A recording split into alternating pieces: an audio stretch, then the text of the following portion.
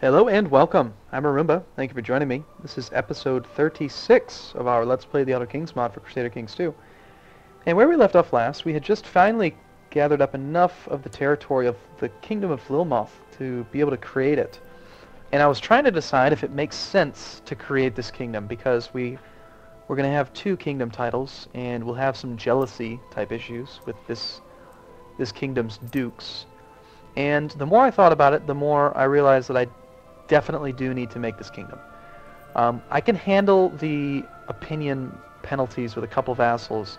What I can't handle is this big ass, uh, this guy up there being a problem. So we need to combine everything that's going on down here. We can't be fractioned or, you know, factionalized or however you'd call it. We can't be separated. We need to be united. Also, there's this kingdom of Thorn, apparently. Um, and that's interesting. It's, it's going by his name. He's a Dunmer, apparently. I thought this was part of the Hist. Apparently not. Nope. I wonder if this character gets to play like he's a Muslim. Because usually it's the Muslim kingdoms that go by their family name instead of the duchy name. But anyway, let's uh, let's go ahead and do it. So we're going to create the Kingdom of Lilmoth. Um, we've got apparently a successor successor nomination to deal with because now we've got two separate laws, two separate kingdoms, and um, so the Kingdom of Soulrest is my primary title. You can always tell what your primary title is because it's the first one listed here. Um,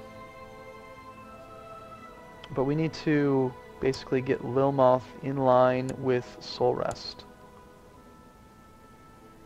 Restricted trade, regulated trade. I'm not going to really mess with these because...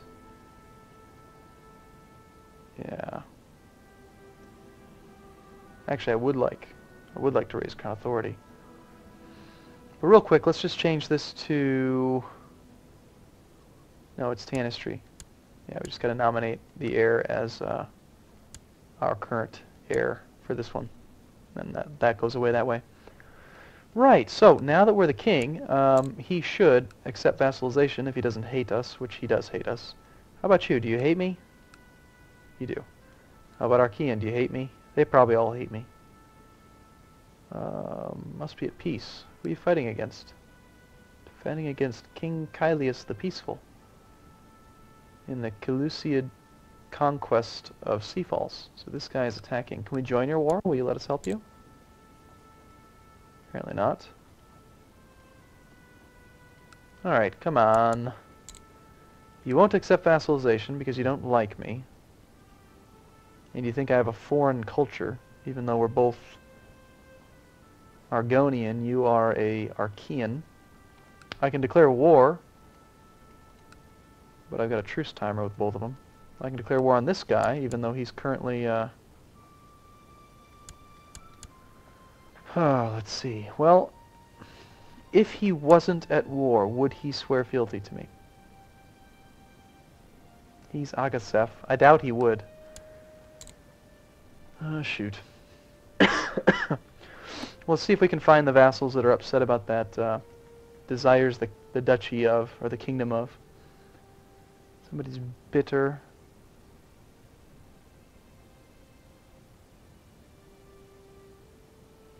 I am not a heretic. You are the heretic, buddy. Here, let's just fix that problem. I don't want... You are my brother. You are my heir. You are the wrong wrong religion. No Teal Sulian stuff. It looks like we're going to have to put down a faction soon. Excellent. So here's now we have this decision, create Argonia. Oh, huh. Yeah, hold three constituent kingdoms.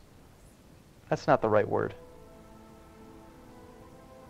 A constituent is like someone that can vote in a realm.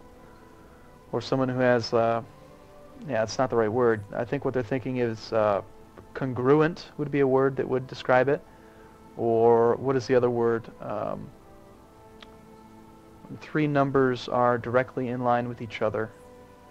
There's a term for it. But, yeah, constituent, that's not right. It should say hold three um, I don't know. Yeah. Just contiguous. I would just say just just hold three contiguous kingdoms would probably make more sense. But um, yeah, I don't know why. Uh, maybe I'm just crazy. But um, yeah, we don't currently have the ability to do this because we Kingdom of Lilmoth is forfeit. The Kingdom of Soulrest is forfeit. The Kingdom of Argonia becomes the de jure liege title of the tribe. So okay, so it actually gets rid of the kingdoms. Cool. It's kind of different. And it just directly changes the, uh, the setup. Oh god, I wish I had just a little bit more land so I could actually do that. That'd be awesome. Take a look at the kingdoms. Stormhold. How are we doing on Stormhold? Only 3 out of 11. Shoot. We need 3 more titles. That's going to take a long time. And then we got this Kingdom of Thorn, which we hold 3 titles for. Same size kingdom, so same situation. Might as well attack this guy. I mean, if he's going to attack this guy, we can indirectly help Archon by attacking him. And he only has 1,800 men. He is not allied with Morrowind, but he could... They're the same religion, I think. Almsivi and Almsivi. So they might help each other, but I don't... I doubt it. Although most of my vassals are really pissed off about everything that I've been doing, so maybe I should just take it easy for a little bit. Let's take it easy for just a little bit. Try to get people happy. We'll keep building cities.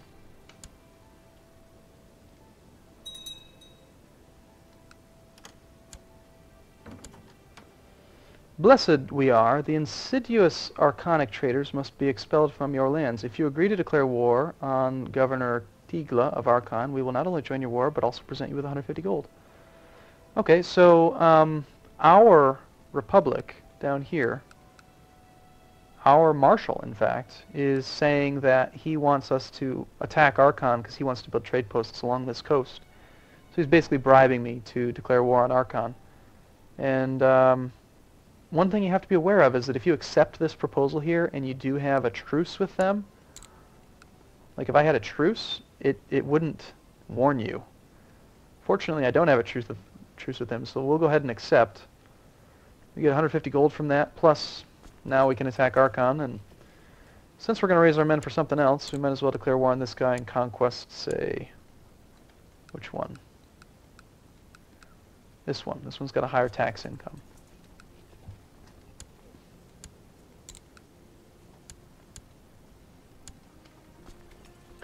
And if we're going to raise our men up for one war, we might as well raise them up for two.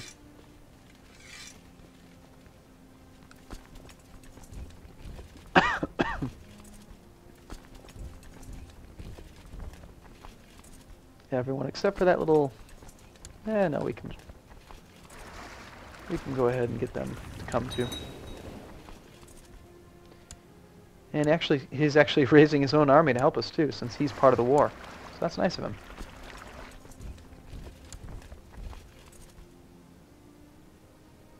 I don't really want to hurt Archon. I want them to swear fealty to us, but, you know, money's money. Plus, when we enforce the demands of this war, we're going to gain some money. 67 gold from raising two trade posts. Lost a court priest. Do you still have those cabals? Nope.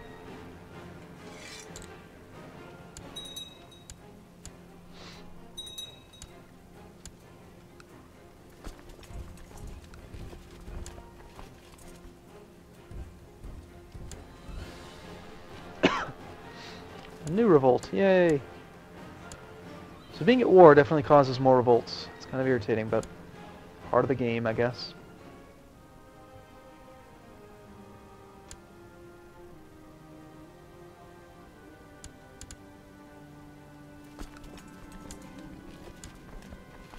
Uh, sure, why not?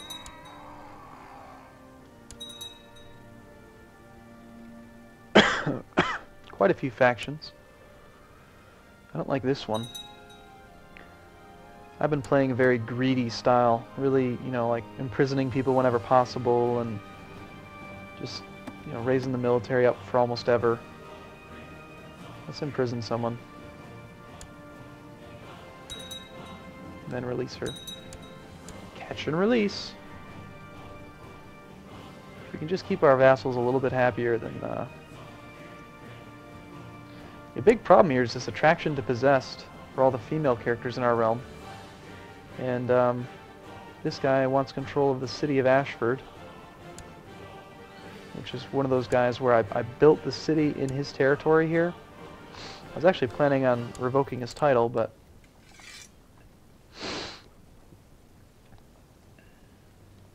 I'm not really worried about a single county guy doing anything. But, let's just check. Is, is Chieftain Geem supporting any of these factions? He is.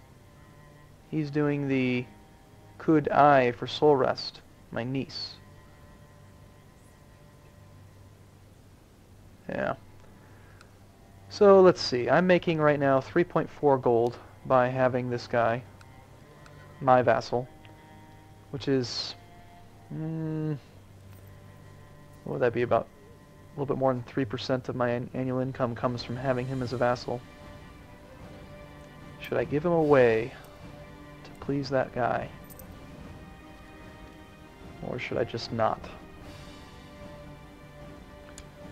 I think, um, I think I'm to give it to him. Yeah, I'm going to forget later on, so we'll do transfer vassalage sort by rank, and then always check right here to see which one he wants. He wants to control the city of Ashford. So let me just find Mayor of Ashford, transfer. So we get the plus 20 from vassal transfer, and the minus 15 goes away because he doesn't desire the control of the city anymore. So it's a net change of 35 opinion. So that'll help. Plus, I'm not building the cities just for myself. I'm trying to trying to build up the wealth of the realm so that long term we can win the win the income war.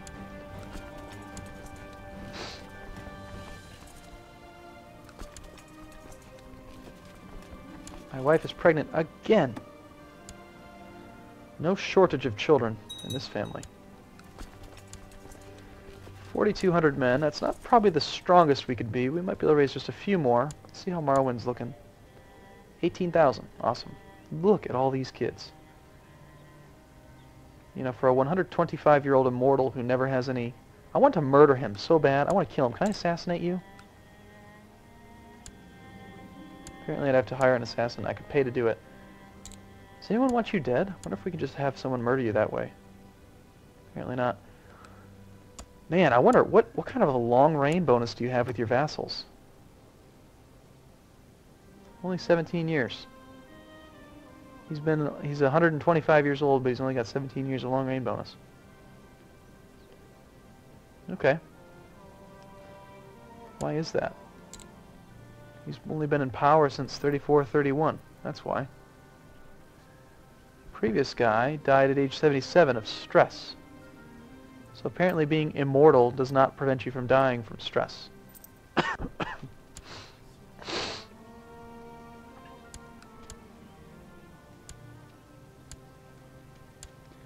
This guy could almost win the war for us on his own.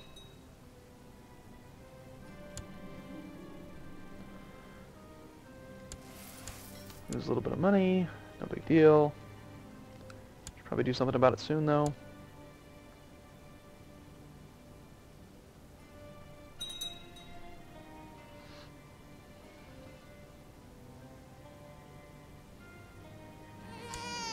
Yay, another son.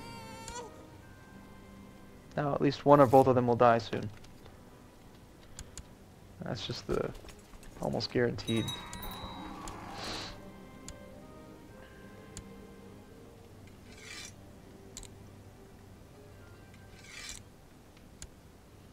Really just want to capture this one county, and then we're going to go and engage... Oh god. Every time I've seen this event pop up, all my kids die. Like, all of them. I've noticed my child walking too far, too much, going places where he shouldn't go. Whenever I tell him not to wander off, my child just gets lost. The other day, bruises and cuts were a common sight all over his scales. It's not safe. I keep saying in the swamp, there's so many different dangers hiding, be they crocodiles or bandits, but I feel my warnings fall on deaf ears. I've gotten worried when I hadn't found my child in bed this morning. It's like a 100% chance she'll be dead. Goodbye. So not only do they have, like, incredible high mortality rate, but they also have this event that pops up and kills them all.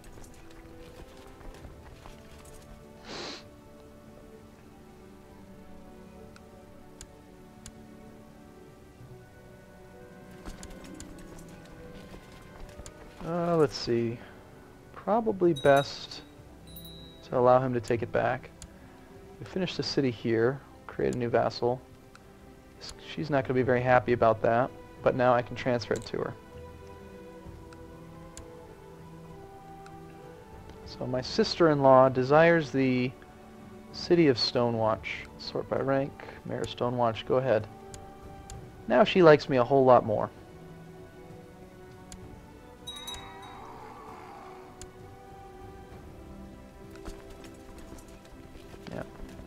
He's going to siege that back. Now we're going to start seeing very soon the tremendous impact all this castle building and city building and like upgrading the income that I've been doing will have an effect. Because like if we look at Nibene, the top level right now, his income is just 48. Morrowind's income is just 51. Mine is 71. So we're already much higher, and that's a very significant amount of extra income. And it's going to continue to snowball throughout our throughout our gameplay. Thankfully, those rebels dispersed on their own.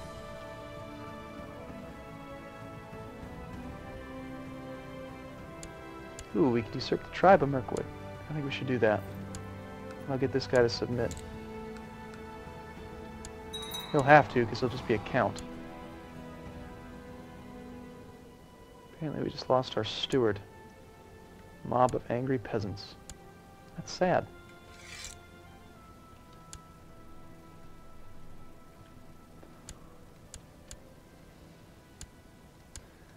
I could always declare war on him with our de jure claim, but we got a truce, so it'd probably be easier to just usurp his title. And then force him to submit, and then... and we'll be good. Assault that one. Let our little war buddy take care of that on his own. Kingdom of Soulrest has uh, got a funny looking flag now. Just need a little tiny, tiny bit more money. 177. Oh god,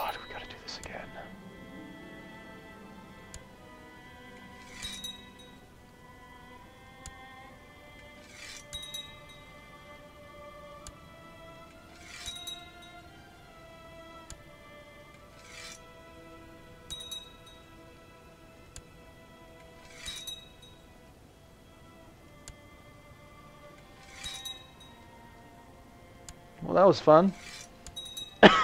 right? It's good enough. I'm done with that.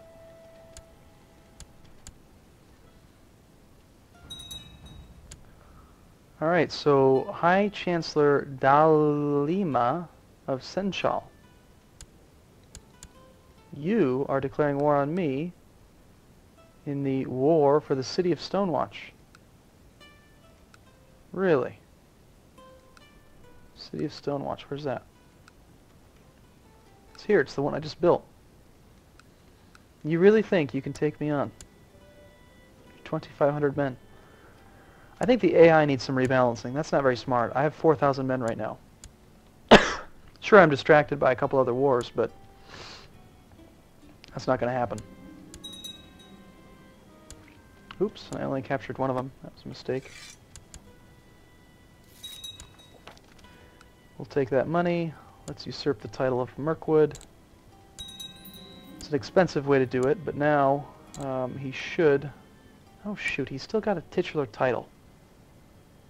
Darn titular title makes him think he's a, makes him think he's a duke, which makes him think that he's closer to my rank. All right, fine. Who owns the area here, Mirkwood? Who are you a vassal to? You are a vassal of a vassal My sister-in-law is the one that controls you. She is over here. Ugh, I really don't like her. But she's got enough land that she could be powerful, so let's go ahead and give her the tribe of Mirkwood. And she's going to be upset with me because she wants the county there. But because I just gave her a 60 point uh, duchy, and I gave her that city a little while back, she should be fine. Now she should declare war on Harrowell because she's got a de jure claim on it. I'm just trying to get that damn title under our, our control.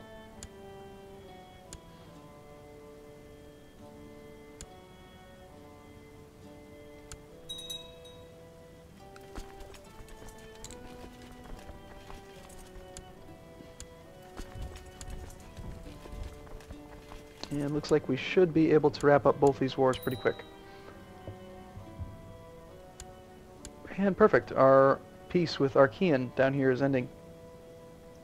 In just another 30 days. High Chief Raleigh of Mirkwood has usurped the title Tribe of Mirkwood from High Chief... What?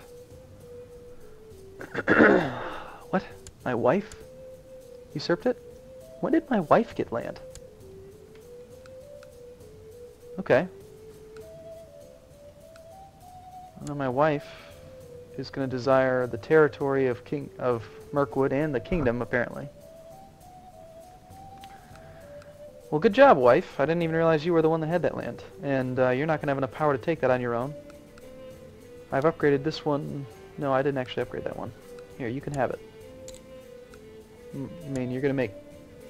It's going to go to our son anyway, so... Here, you take the territory of Mirkwood.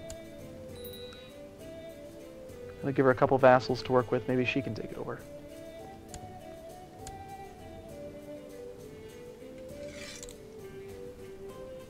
Okay, and I think I'm to end this video here, and look forward to seeing you in the next episode.